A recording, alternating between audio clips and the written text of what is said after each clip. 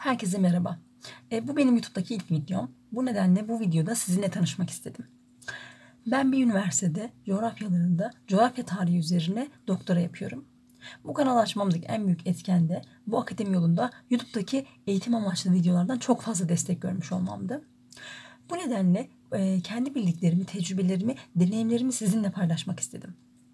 Çünkü özellikle lisans sonunda yüksek lisansı başlarken e, birçok soruyla karşı karşıya kalıyoruz.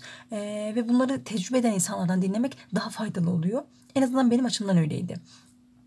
Bu nedenle ileriki videolarda akademi yolunda ilerleyenlere e, yardımcı olabilecek tecrübelerimi paylaşmak istiyorum.